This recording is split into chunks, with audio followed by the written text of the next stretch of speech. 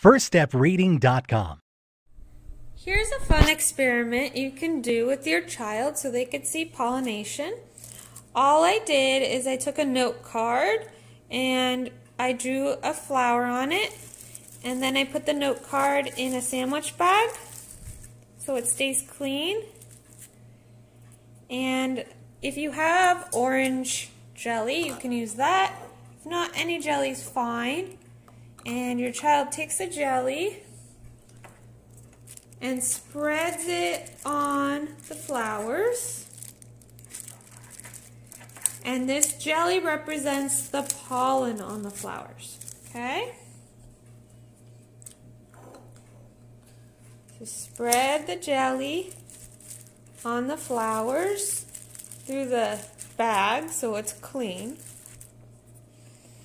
And you spread it. You can even do different colors if you want on each of the flowers so you can see the different pollens.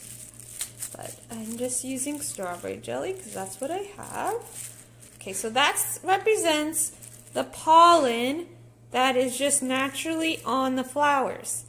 Then my bee is just a marshmallow.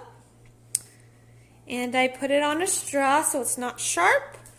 And my bee is going to come onto the flower to drink the nectar.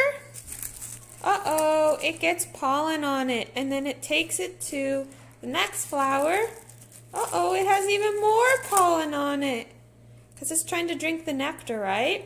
Then it takes it to the next flower to drink to drink the nectar and it gets more pollen on it. And you see all the pollen that is on the bee. The bee is our marshmallow. And then your child can eat it and they can taste how pollen gets stuck on the bee and how it spreads it from flower to flower.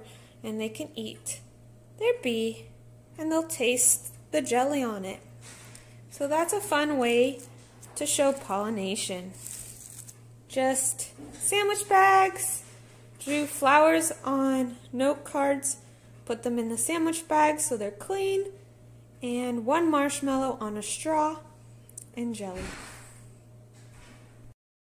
Hi, this is Heather from FirstStepReading.com. Please subscribe to our channel on YouTube at First Step Reading.